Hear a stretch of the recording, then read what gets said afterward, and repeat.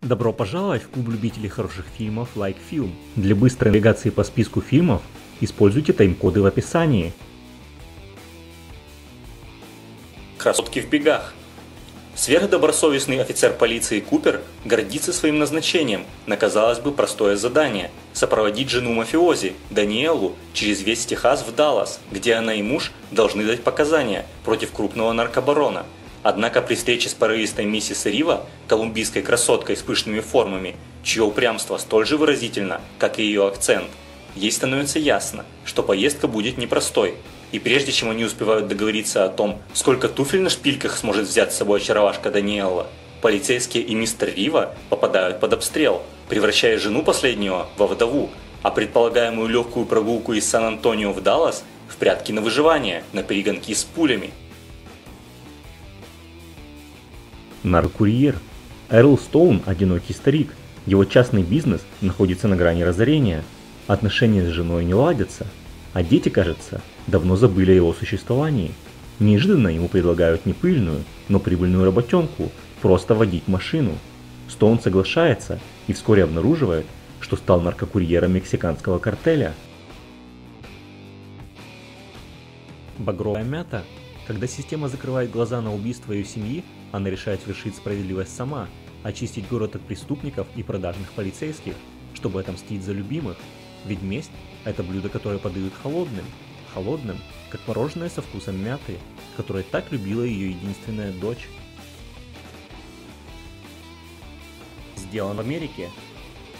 Он был самым юным пилотом Боинга 747 в США – а уже через несколько лет стал одним из богатейших людей в Америке. Его стиль жизни был столь же экстремальным, как и его бизнес.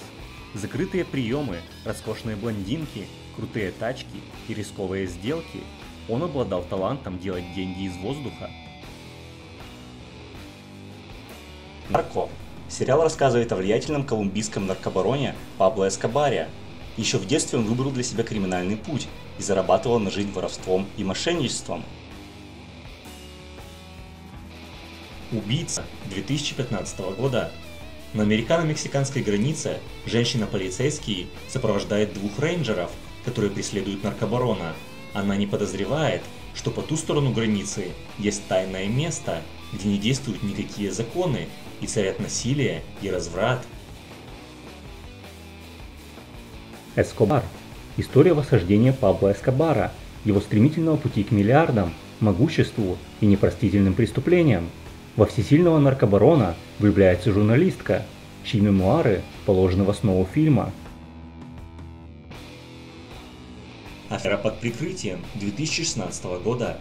Федеральный агент Боб Мейзур, специалист по внедрению в преступные группировки, ставит себе целью раскрыть схему отмывания денег наркокартеля Пабло Эскобара.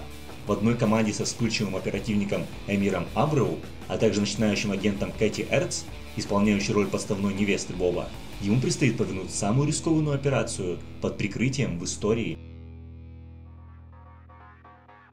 Кокаин.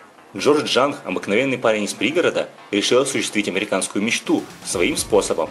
Стать первым американцем, импортирующим кокаин в больших объемах. Он создал себе рынок сбыта, подсадив на кокаин самых знаменитых людей Америки. Вскоре он уже купался в деньгах и роскоши, о которых многие только мечтают. Ему удалось обводить вокруг пальца не только ФБР, но и страшных колумбийцев-наркодельцов. Однако настоящий кайф он получал от опасности и риска, нуждаясь в адреналине больше, чем в наркотиках. Снегоуборщик.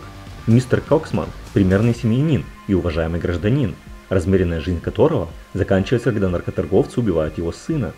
В поисках справедливости он с ледяным хладнокровием начинает изощренно убивать бандитов, одного за другим – Пишите в комментариях, какие фильмы по вашему мнению стоит добавить и другие замечания и предложения. Спасибо за внимание, до скорых встреч!